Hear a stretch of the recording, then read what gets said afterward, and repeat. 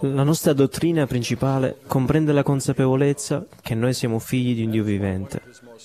Questo è il motivo per cui uno dei suoi nomi più sacri è Padre, Padre Celeste. Questa dottrina è stata insegnata con chiarezza dai profeti di tutte le epoche. Quando venne tentato da Satana, Mosè lo respinse dicendo, Chi sei tu? Poiché ecco, io sono un figlio di Dio. Rivolgendosi a Israele, il salmista proclamò, Voi siete di, siete tutti figliuoli dell'Altissimo. Sul colle dell'Aeropago, Paolo insegnò agli ateniesi che essi erano progenie di Dio. Joseph Smith e Sidney Rigdon ebbero una visione in cui videro il Padre e il Figlio.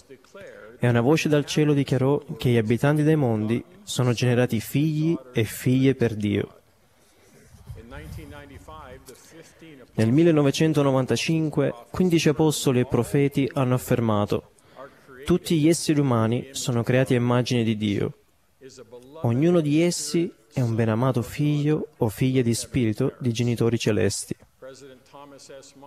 Il presidente Thomas S. Monson ha attestato noi siamo figli e figlie di un Dio vivente. Non possiamo credere sinceramente in questo senza provare una profonda sensazione di forza e potere. Questa dottrina è così basilare, così frequentemente ripetuta e così intuitivamente semplice che può sembrare una cosa ordinaria, quando in realtà è una delle cognizioni più straordinarie che possiamo ottenere. La corretta comprensione del nostro retaggio divino è essenziale per l'esaltazione. Essa è fondamentale per comprendere il glorioso piano di salvezza e per nutrire la fede nel primogenito del Padre, Gesù il Cristo, e nella sua espiazione misericordiosa. Inoltre, è fonte per noi di motivazione continua a stringere e a osservare le nostre indispensabili alleanze eterne. Salvo poche eccezioni, tutti i partecipanti a questa riunione potrebbero intonare sui due piedi, senza testo scritto né musica, sono un figlio di Dio. Questo inno, tanto amato, è tra quelli cantati più spesso in questa chiesa. Ma la domanda cruciale è, sappiamo davvero di esserlo? Lo sappiamo nella nostra mente, nel nostro cuore e nella nostra anima? La nostra discendenza divina rappresenta per noi l'identità primaria e più profonda? Qui sulla Terra tutti noi ci identifichiamo mediante tanti modi diversi, tra cui il luogo di nascita, la nazionalità e la lingua. Alcuni si identificano persino mediante la loro occupazione o i loro interessi. Queste identità terrene non sono sbagliate, a meno che non si sostituiscano o interferiscano con la nostra identità eterna, quella di figli e figlie di Dio. Quando la nostra figlia più piccola aveva sei anni e frequentava la prima elementare, la sua insegnante assegnò agli alunni un esercizio di, scrutu- di scrittura. Era ottobre, il mese di Halloween, una festività celebrata in alcune parti del mondo. Sebbene non sia la mia festività preferita, suppongo che Halloween possa avere alcuni aspetti innocenti e positivi. L'insegnante distribuì un foglio ai giovani studenti. In cima vi era disegnata a grandi linee la figura di una strega immaginaria. Vi avevo detto che questa non era la mia festività preferita. La strega eh, sorvegliava un calderone bollente. Per stimolare la loro immaginazione e per esaminare le loro basilari capacità nello scrivere, agli alunni fu posta questa domanda. Hai appena bevuto un bicchiere della pozione della strega. Che cosa ti succede? Sappiate che questa storia non viene raccontata per servire da consiglio agli insegnanti. Hai appena bevuto un bicchiere della pozione della strega. Che cosa ti succede? Con la sua migliore grafia da principiante, la nostra piccolina scrisse: Morirò e andrò in cielo.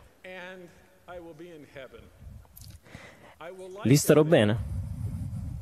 Mi piacerà. Mi piacerà perché è il posto più bello di tutti, di tutti, perché siamo con il nostro Padre Celeste. Questa risposta probabilmente stupì la sua insegnante. Tuttavia, quando nostra figlia portò a casa il compito svolto, notammo che le era stata data una stella, il voto più alto. Nella vita reale affrontiamo difficoltà concrete, non immaginarie. C'è il dolore, fisico, emotivo e spirituale. C'è la sofferenza, quando le circostanze sono molto diverse da come avevamo previsto. C'è l'ingiustizia, quando pensiamo di non meritare la nostra situazione. C'è il disappunto, quando qualcuno di cui ci fidavamo ci delude. Ci sono i problemi di salute ed economici che possono disorientarci. Possono esserci periodi di dubbio, in cui una questione che riguarda la dottrina o la storia va al di là della nostra comprensione attuale. Quando le difficoltà si presentano nella nostra vita, qual è la nostra reazione immediata? È confusione, dubbio o allontanamento spirituale? È un duro colpo per la nostra fede? Accusiamo Dio o gli altri delle nostre circostanze? Oppure la nostra prima reazione è quella di ricordare chi siamo, che siamo figli di un Dio amorevole. E a questa si accompagna una fiducia assoluta nel fatto che Egli permetta alcune sofferenze terrene, perché sa che ci benediranno, come il fuoco del raffinatore, facendoci diventare come Lui e ottenere la nostra eredità eterna. Di recente ho partecipato a una riunione con l'anziano Jeffrey R. Holland. Mentre insegnava il principio, secondo cui la vita terrena può essere tormentata, ma le nostre prove hanno uno scopo eterno, anche se sul momento non le comprendiamo, l'anziano Holland ha detto, potete avere ciò che volete o potete avere qualcosa di meglio. Cinque mesi fa io e mia moglie, Diane, siamo andati in Africa con l'anziano e la sorella Bednar. La sesta e l'ultima nazione che abbiamo visitato è stata la Liberia. La Liberia è un paese eccezionale, con un popolo nobile e una storia ricca, ma dove le cose non sono facili. Decenni di instabilità politica e di guerre civili hanno aggravato la piaga della povertà. E, come se non bastasse, la temuta malattia dell'Ebola ha ucciso quasi 5.000 persone durante l'ultimo focolaio epidemico. Da quando, dopo l'epidemia di Ebola, l'Organizzazione Mondiale della Sanità ha dichiarato che non sussisteva più alcun pericolo, il nostro è stato il primo gruppo di dirigenti della Chiesa, provenienti da fuori dal paese, a visitare la capitale, Monrovia. La mattina di una domenica particolarmente calda e umida, ci siamo recati al centro della città, in una struttura presa in affitto per le nostre riunioni. Ogni sede disponibile era stata sistemata per un totale di 3.500 posti. Il conteggio finale dei partecipanti è stato di 4.100 persone. Quasi tutti coloro che vi hanno preso parte sono arrivati a piedi con qualche scomodo mezzo di trasporto pubblico. Per i santi non è stato facile riunirsi, ma sono venuti. Molti sono arrivati diverse ore prima dell'orario prefissato per la riunione. I santi erano preparati per essere istruiti. Quando un oratore citava un passo scritturale, i membri lo ripetevano a voce alta. Indipendentemente da quanto fosse corto o lungo il passo, l'intera congregazione rispondeva all'unisono. Ora, noi non suggeriamo necessariamente di fare altrettanto, ma il fatto che essi riuscissero a farlo era sicuramente notevole. E poi il coro, davvero potente. Con un direttore entusiasta e un giovane di 14 anni alla tastiera, i membri cantavano con vigore ed energia. Poi ha parlato l'anziano Benner. Questo, ovviamente, era il momento tanto atteso della riunione ascoltare un apostolo insegnare e rendere testimonianza. Chiaramente diretto dallo Spirito, nel corso del suo intervento, l'anziano Benner si è fermato e ha detto Conoscete l'inno Un fermo sostegno? È stato come se 4100 voci avessero risposto con un boato. Sì. Poi ha chiesto Conoscete la settima strofa? Ancora una volta l'intera congregazione ha risposto Sì. La versione del vigoroso inno Un fermo sostegno, interpretata dal coro del tabernacolo mormone negli ultimi dieci anni, include la settima strofa che prima non veniva cantata molto spesso. L'anziano Benner ha detto cantiamo le strofe 1, 2, 3 e 7. Senza esitazione il direttore del coro è balzato in piedi e mentre il giovane detentore del sacerdozio di Aronne ha subito, ha subito iniziato a suonare energeticamente gli accordi introduttivi con un livello di convenzione che non avevo mai provato prima durante un inno della congregazione, abbiamo cantato le strofe 1, 2 e 3.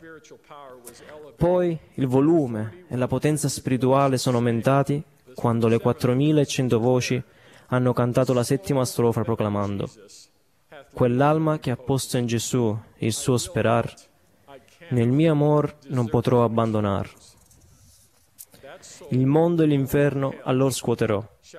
L'eterno rifugio, l'eterno rifugio, l'eterno rifugio che in me le darò.